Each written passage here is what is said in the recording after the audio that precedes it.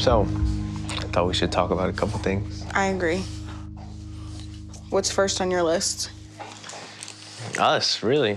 Mm-hmm. What's going on with us? I mean, I definitely wouldn't say things are good, that's for sure. Where where are we going wrong?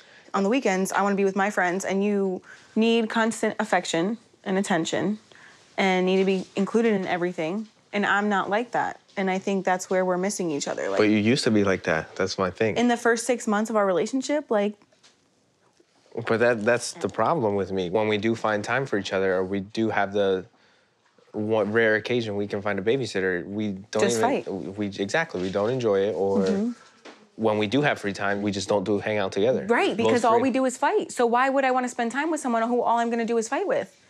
We're not even trying. You can sit here all day and try to tell me that you're trying.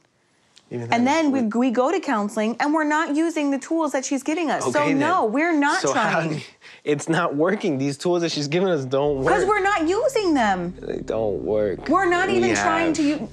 We are on the edge of staying together or getting divorced or separated, whatever. Mommy, What happened, Bo? Huh? mommy, What happened? What happened? Where'd you hurt yourself at? Where? Your toes? He's making it up.